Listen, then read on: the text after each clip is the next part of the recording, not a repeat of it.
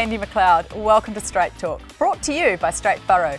Coming up in the show, how Japan may be the answer to some Australian farmers' prayers for survival. With an announcement looming in New Zealand on the Fonterra milk price debate, dairy farmers in Seoul protest against the price of milk. And with our high Kiwi dollar and increased competition from South America, what does the future for New Zealand beef look like? Joining me today on the show is Neil McLean, dairy farmer and Fonterra's Shareholder Council member, and Roger Wilson, senior partner at PricewaterhouseCoopers in Hamilton. Japanese grain and noodle processor Hakubaku Agri Limited have recently purchased 1,000 hectares on the Liverpool Plains in Queensland, Australia. In a move for Japan to buy directly from farmers in Australia and take that product to Japan amid concerns around China pricing and food quality. Now, this is, I guess, throwing a lifeline to, to the farmers on the Liverpool Plains who are being challenged by the coal seam gas mining from the likes of Chinese investors and the Dutch oil uh, uh, Dutch Shell. Neil, is the linkage between China and food safety becoming more of a real issue? No, food safety is food safety. It does. We're dairy farmers. We're in the game of uh, selling high quality food. Uh, the Fonterra brand is quality. Uh, we have a supply line that's intact. I mean, it's where it goes in China or wherever it goes around the world, our quality is going to be intact. Yeah, but the question really is, though, is is it about an increased linkage with, let's say, brand China and food safety? Are we starting to see more people concerned about food coming from China Roger. Yeah, definitely, and that's what this, this investment's been driven by for the Japanese. Basically, they're concerned about the quality and the security of food supply from China. So by um, buying and creating a footprint in Queensland, in Australia, they're able to export directly to Japan, to the end consumer, take out all the middlemen, and ultimately, uh, what, I, what I've researched around this is that they intend to try and encourage other farmers yes. to supply them as well. It's about taking out um, cost on, in supply chain as well. So sure, food security is a big issue. It's quality, and the melamine example is a classic of that, and that's still ongoing in, in uh, China with food safety. Um, but the Japanese are now realising that we, we can get reliable quality food, um, and we need to invest in some land somewhere else to be able to do that. So I think that linkage is going to become stronger and stronger um, from, from these developing nations. The scientist in charge of this um, for Hakubaku has also said that, um, and, I, and, I, paraphrase here, that um, mining has got no place in areas of agricultural significance. Isn't it a free market? I mean, land, land, will be used for its best, best, applied to its best use. Yeah. If that is mining, well, unfortunately, it might be mining. Preferably, it's going to be agriculture because yeah. uh, it's far less environmentally damaging. But um, it will ultimately be applied to its best use, and it's a free market. So at the moment, it seems like Australia is the main beneficiary of this Japanese uh, policy. Do you think that New Zealand is going to be the next cab off the rank for this? Are we going to start to see more Japanese investment, you know, potentially bidding for Crafar Farms or getting involved in New Zealand?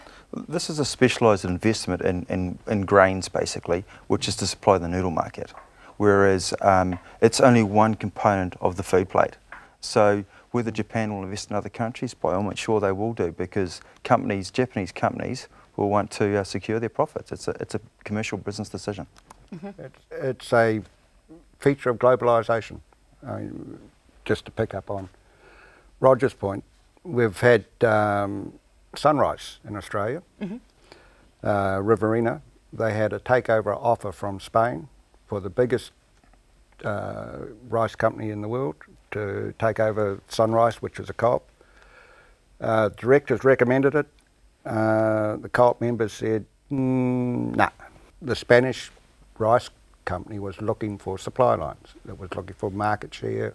It was looking for uh, being able to supply a product at all times with known quality. Right? It's Fonterra is doing exactly the same mm. thing on the world market. And very successfully. Yeah. Japan's already a large investor in, in beef finishing and processing yeah.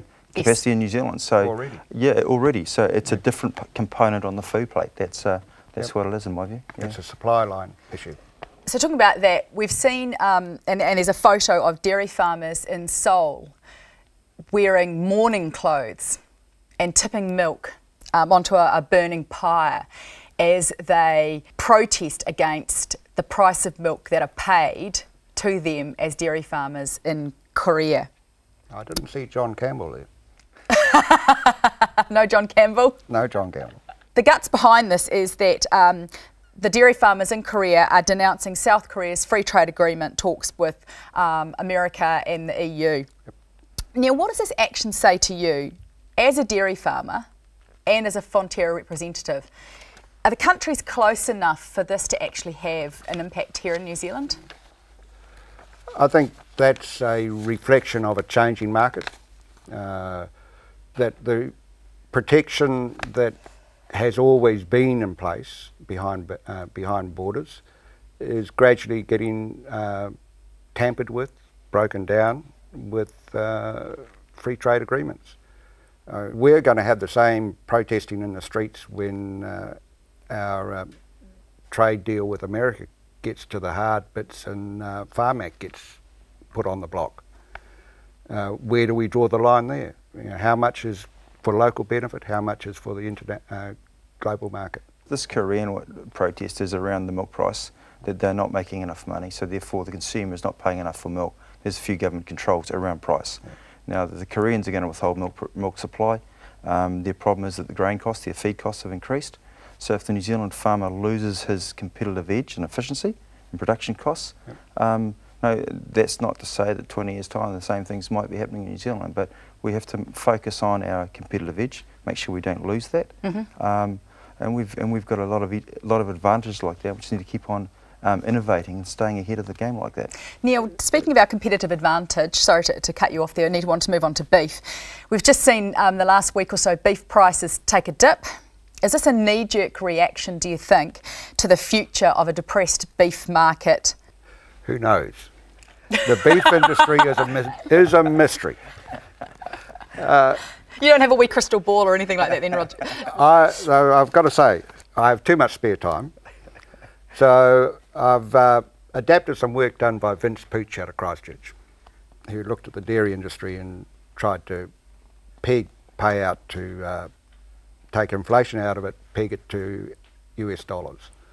I applied the same criteria to uh, beef, and surprise, surprise, for the last 40 years it's been equivalent to $3 a kg meat.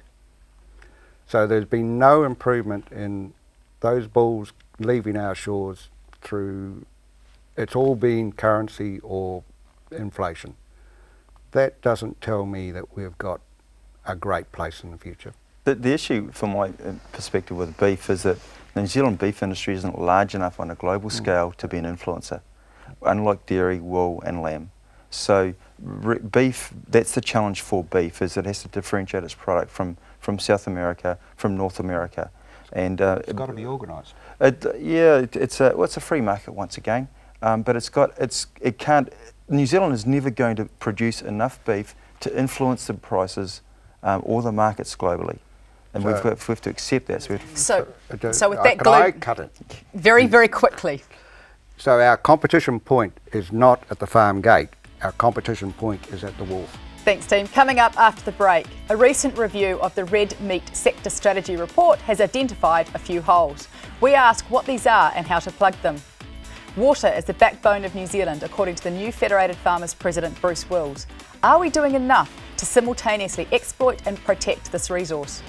Is the Ministry of Agriculture and Forestry playing Russian roulette with the government industry agreement on biosecurity reform bill? Mike Petersen, Chair of Beef and Lamb New Zealand, thinks so. All this when we return.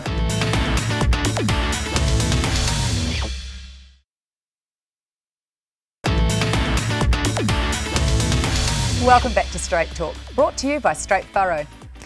Neil, I understand there's been um, a couple of issues raised with the Red Meat Sector Strategy Report. Do you want to tell us what these are? Well, well, the first issue is that I haven't read it because I haven't been inspired to read it. That's a real worry. Uh, second thing is uh, I struggle to see who's going to actually own the strategy. And once you have ownership, you'll have delivery. Uh, I'm reminded of uh, uh, what we've seen in the States over the last two weeks. We've got had the Republicans and the Democrats in the same room talking past each other and and no one actually delivering what should be the outcome that's going to suit the, uh, the people of America. I suspect the same thing is going to happen with the red meat strategy. Roger, we've just seen the, the formation of a group to oversee um, the implementation of this report. Do you believe that within that group there's enough leadership to pull together the potentially disparate groups that have to be pulled together to make this work? If if this group can, the financial results will will pull people together. And at the moment, uh, the industry is going is leeching around a little bit. Uh, they they've had a very good 12 months, and the prospects are, are still quite good. The, there were three key key pillars, in my view, to the strategy around competition, supply chain management, and on-farm performance. Um, they they've all got to come together, and, and on-farm on-farm performance is one of the key issues, I think. I mean, if, if farm production can increase um, to similar sort of rates that the chicken industry, for example, you see graphs of where the chickens have grown across the last 20 years. Um, the, the, we need to get that on-farm performance improved across the full broad spectrum. And that in itself will be a significant gain for New Zealand and make the strategy a lot easier to, to deliver. You've got a lot of polarised positions, but um, if, if the industry can show the money, it's the Jerry Maguire principle, show me the money, I'm sure uh, all sorts of things can happen. But Roger, who is the leader? Who's who's the, the honest broker? Who's going to be the guy or girl who's sitting there saying, "We need to make this happen, people"? Uh, there is there's not the people there at the moment who appear to be willing to take that statesman-like role. Uh, maybe Chris Kelly of Landcorp has has a, but you know, we're, that's, that's what I'm looking for. I'm looking for a statesman who's going to lead us out. Yeah, that, that, that will evolve. And, and look, you know, maybe, maybe a farmer like Landcorp, the large corporate mm. farmers might have, have some influence, but you've got a number of private investors in the processing capa capabilities. They, they want to make a dollar. Yep. Okay, and that's, there's no getting away from that. But there's, there's, three, there's three links in this chain. If the processors don't make money, they won't innovate. If they aren't innovating and creating profits, the farmer won't be profitable and he won't spend the money on the supply and the services. Roger, just very quickly to pick up on that point about the farmers making money, do you think the fact that we've seen a very strong uh, financial performance on um, a lot of sheep and cattle properties that have very little relevance to manage, managerial operation, that that is going to uh, be a potential red herring in this whole issue? Because we've seen a lift in, in on-farm profits that haven't had anything to do with productivity? No, that's no, no. I don't think so. No, I mean, there's the the farmers, the good farmers, um, are going to continue to be extremely profitable now, and they'll be looking to grow their businesses. The farmers who are who who, are, who aren't as good, who are sure they might have had a 12-month respite, they might have a 24-month respite, but ultimately um, there will be something. A day of reckoning will come. It's just a it's market efficiency. So um, no, I, I think yeah, it might be a 12-month respite, depending on lambing, beef prices, wool prices, um, and, and lamb prices this the next 12 months. It might be 24 months, and hey, the longer it is, the better. But um, there will be a day of reckoning some point in time. Speaking of a day of reckoning, we've got oodles of water, and despite we've got had some debates over how clean it is. Do you think, Neil, that we're doing enough to utilise the water that we've currently got to produce more food? as a participant in the Variation 6 discussions with Environment Waikato at the moment, obviously not. Uh, it's a discussion that we need to be having. Uh, there is a case for irrigation in the Waikato. Uh, that has to be balanced up against Mighty River Power's uh, demand for total control of the river, plus the iwi having control issues. Yeah, water is is our comp uh, competitive advantage. We have to have a strategy that delivers a sustainable uh, program for the next generation. I mean, the dairy growth is going to be in the Canterbury, Southland. We have to have a plan. The, the water, the water story is quite, quite incredible when you drill into it. I mean, there's a, no pun intended. No, true. Look, there's well, it doesn't have to be drilled into either. But there's 1.9 million hectares in New Zealand land that could be irrigated. There's something like 600,000 hectares irrigated currently. 350,000 are in Canterbury. Now, in irrigation schemes that are on the drawing board right now, there's another 350,000 hectares of land that will be irrigated in the next 15 years. Now, that's primarily Canterbury and Hawke's Bay and Wairarapa. So we, we are becoming aware of it. Uh, the government has indicated they're prepared to commit some money to it um, across the long term. So uh, are we doing the best? We're working on it. Uh, our water supply is our, it's our, it's our gold uh, because it's renewable, it's renews, it replaces itself every year. So uh, it is, it's going to be the key to us uh, the country being extremely Just very but quickly. We, but we have to bring the community with us. But do you think there's a danger of water being sold offshore, like I guess in terms of rights, like coal has been in Australia? We're going to talk about virtual water. Well, let's not talk about virtual water. Your, your, um, your, your pause and hesitation on this is enough. Okay, so the Biosecurity Law Reform Bill. This has been debated over for the last five years, and despite that, no industry that I've been able to get hold of knows much detail about what is in this reform bill. To me, it seems to have more holes in it than Swiss cheese. So, Neil, why do you think there are so many information black holes in this? Perhaps it's government uh, pushing more indirect taxes back away from central government and talking about reduce. You know, I, I could get paranoid about that. but we did not have don't, that. Don't do that. oh, the, the, it's a we talked about a global market before, and and the, the world is changing. We have a lot of free trade agreements coming along. They're all going to have implications around borders and free access. And if, if we want free access to the States for our dairy yep. products, they'll want free access to New Zealand for pork, apples for example. Apples, apples, into Australia now, isn't that? that it's a tra- We could talk of that for 100 years. but It has but, been. Yeah, exactly. That's right. But, but the principles, what, what's good for Australia is good for us. But what I don't get, though, is that it's not about changing biosecurity per se, it's actually who's going to pay if there is a breach. That seems to be what it's coming down to. If there is a breach and it is going to impact on, say, the kiwi fruit industry, as we've seen, the pork industry, then they pay to fix it up.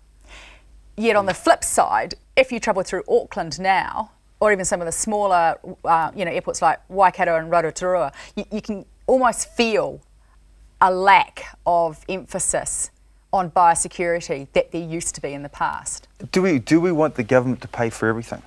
The governments are running deficits. Yep. Does the producer pay? Um, sure, it's better to be at the border and stopping, uh, stopping those, those diseases entering the country because we do have a haven. But, but it's are they going further back into the supply chain to look to make sure that it is intact right from the source rather than at the border. That's what they need to do. Mm. I mean, to me, you know, their argument for if you want dogs in Hamilton, bring your own. Now, I don't know about your dogs, but I really can't see mine being much chop at border security. And, and I guess why do we have uh, a biosecurity team? I still think that, that it is a national issue if we're saying that the growth of New Zealand is going to be on the back of agriculture. Surely it's a New Zealand Inc. Yeah, it is. Yeah. It is. So, direct access. Direct access. Direct access. Direct okay. consensus. That's a first on straight talk. No, no, no. Okay. Not consensus. okay. After the break. We asked Neil and Roger what hot topic in the rural community has got them cheering or jeering. Will it be a rant or will it be a rave? You can join us after the break.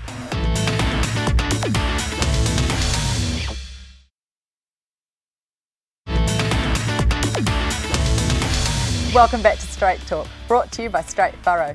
It's time now for our weekly rant and rave. Roger.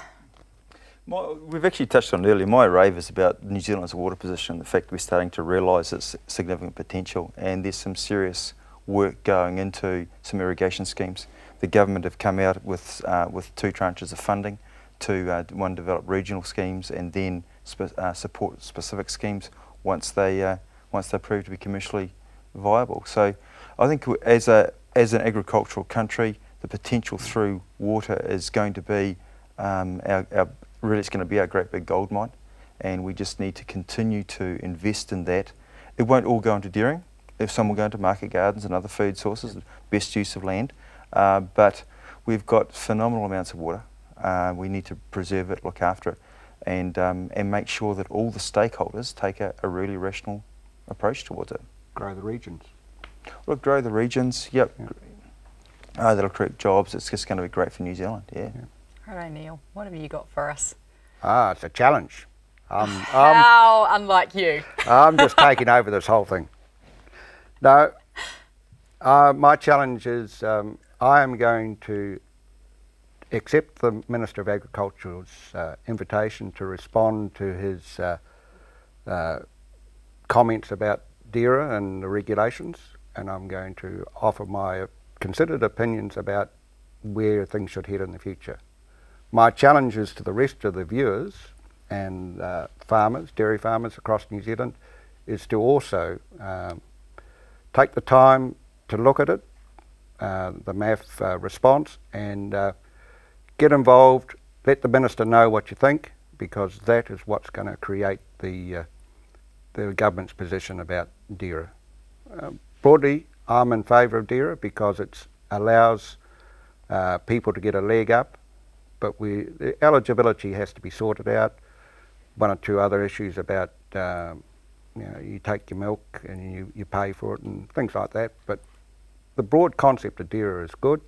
We just have to make it suitable for these times. One of the issues that I understand it with the Dairy um, Restructure Act is around the wording of the milk that Font, the six million dollar, six million litres that Fonterra has to give away, so to speak. 600 million. 600 million. Whew, near me and maths. no comment, And Roger. so- and so- and Mi- so- minor details. Minor details. Um, i- is around that it was supposed to uh, promote internal competition for Fonterra with the liquid milk market, and Well, that's uh, that not. was- That was one of them. It was one. Oh, yeah, it was one of them. Yeah. But that doesn't seem to be happening. Uh, uh, the international exporting of, uh, of milk using DIRA milk doesn't seem to fit the original intent of the regulations. Uh, and that's what I say about it should be a leg up, not a prop. Uh, you know, I'm going to pick on some of my neighbours at Tatua and Westland, but they've been established for 100 years. Why do they need DIRA milk? Absolutely. Yeah. Uh, I mean, uh, Open Country Dairies has been on operation for five years ish. Similarly the same. They've got their own supply. Why do they need continued support? If Miraka's setting up needs to get itself established, let it have some milk for two or three years, then it, it has to stand with its own performance. And they're small, they're dynamic, let them compete against Fonterra. It'll challenge Fonterra to deliver. Um, no, I've no problems with it, providing we get the eligibility sorted out. Which seems to be the real sticking point, doesn't it? Yep. Great. Well, my rant. Fonterra, why have you waited until now, the beginning of August, to send out your diaries to your dairy suppliers who rely on the diary to fill in all of the information that you request? It has been driving my contract milker mad, who's been making my life hell. Please sort it out for next year. Roger, I want to come back to your point about water. I really want to know from you how much of a of a of a of the debate around water use is being delayed or distorted over the conversation that's happening around water quality. I don't have the direct answer to that question. Um, I think there's a whole number of stakeholders with an interest in water, whether it be game and fish and thing and, and pastime activities as well. So it does have to be a collective view around it. The my my own view is a little bit that we have peak times, we have surplus water, which floods and we wash out to sea as quickly as possible. So uh, whether we whether the, the technology is not there yet, but whether we're able to divert that into holding ponds, lakes, whatever it may be, and release at other times for irrigation, because I'm uh, that that that sort of technology I think is where we need to, to get to the investment to make it to make it viable um, Right. and recognise those stakeholder interests because um, pa- pastimes are important. That wraps up our latest edition of Straight Talk, brought to you by Straight Furrow. I'd like to thank again my guests Neil McLean and Roger Wilson. And thanks to you too for watching. Remember to check out our website at country99tv.co.nz for all the latest in rural happenings. We'll catch you next week, and in the meantime, keep on smiling.